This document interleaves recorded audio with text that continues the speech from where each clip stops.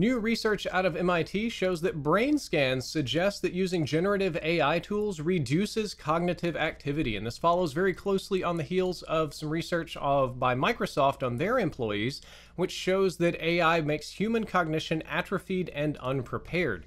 This one was, instead of a corporate study, a scientific study. You can look it up if you Google this huge title here Your Brain on ChatGPT Accumulation of Cognitive Debt When Using an AI Assistant for Essay Writing Task.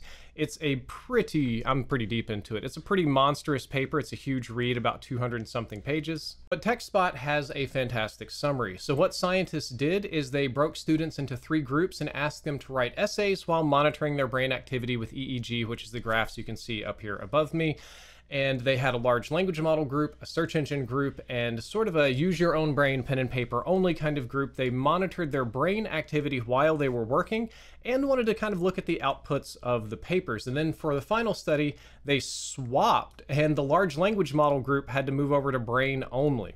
So the results here were a little bit wild. While essays from the LLM group received high marks from both human graders and AI judges, the writing tended to be more homogeneous and adhered more closely to the original prompt. Participants who used LLMs were more likely to copy and paste, edit their work less, and struggle to quote from their own writing. Obviously, if you don't read it, you don't know what's in it. There's a breakdown of all the science here. But then, uh, when they swapped users uh, during the final session, where the LLM users had to go back to pen and paper and using their own uh, sort of information, they had difficulty recalling information from earlier in the experiment, and their brain activity had reset to a novice level regarding the essay topics, indicating that while they wrote essays, they didn't really learn anything. Although it's interesting that the brain only group showed some decline in cognitive activity over time, it remained at an intermediate level, and participants could easily remember earlier material, so memory is working. And participants who swapped from the LLM group to the brain only group almost immediately showed an increase in neural activity. The search engine group got kind of moderate scores across everything.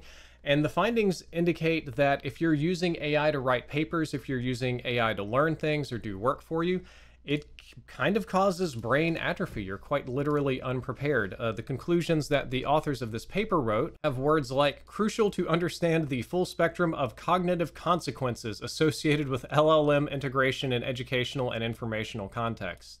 And uh, there's also a little bit in here about how the participants were the more you use an LLM, the more you're inclined to sort of believe it. They sort of stop questioning the validity of the data being output and just assume that the AI is always right, which is a different type of cognitive. It's like the appeal to authority bias, but the authority is a machine. And I think all of this is very scary and does not bode well for our future.